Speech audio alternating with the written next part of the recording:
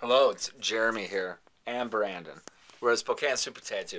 I was just on Facebook, and look at Eli Scott likes Downers Grove Tattoo. Look at he just liked it 35 minutes ago. Now the most interesting thing about this is he's worked at Downers Grove Tattoo for about two years. Brandon loves it.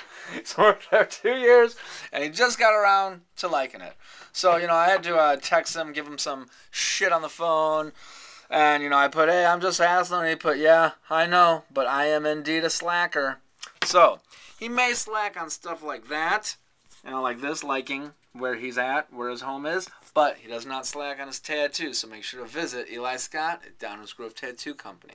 You'll also see Jessica Bone, two amazing artists. Check them out right now. We'll put a link in the description when I figure out how. I'm still new to it.